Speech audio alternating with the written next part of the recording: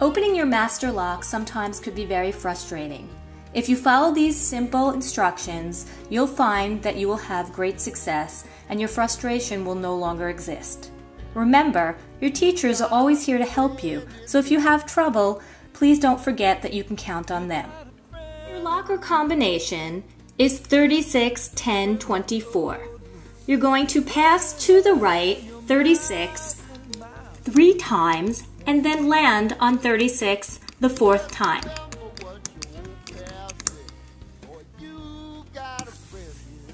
The next number, 10, you're going to turn the lock to the left, passing it once and landing on it the second time. The last and final step, you turn the dial to the right and you end up on 24, your last number. Pull up on the shackle and you see that you have opened your lock. Congratulations!